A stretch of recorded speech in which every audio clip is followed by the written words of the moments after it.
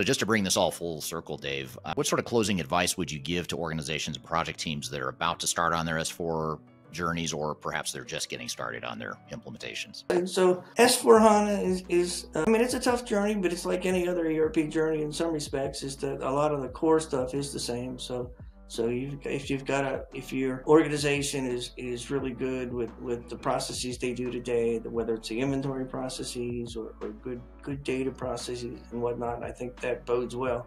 Uh, if you're feeling nervous about any of that, clean that up first. Make sure you get a good handle on that, right? So I'd say that to anybody doing any ERP implementation.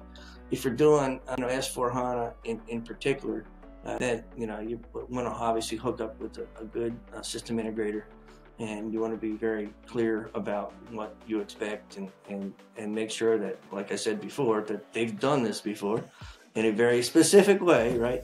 And and kind of ask them about you know their methodology and approach and how they how they go about doing it.